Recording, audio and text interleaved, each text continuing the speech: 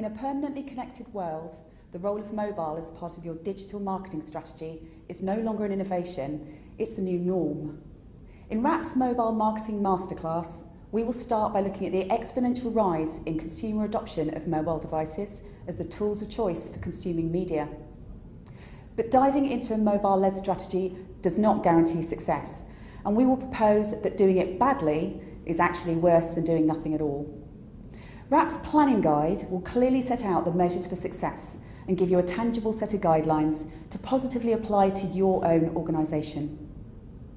Looking at the key mechanics for effective mobile marketing, including terminology and best practice, we will help you to define the most appropriate tools for your business with benefits and considerations for each. Real life examples will show you who is doing it well, showcasing organisations who've used existing or traditional channels and optimised them for a mobile audience, demonstrating clear understanding of their customers' preference for this type of content. Organisations who can successfully integrate multiple customer touchpoints into a truly seamless experience, regardless of the process behind the scenes, will ultimately be those that succeed. We hope that you will be one of these.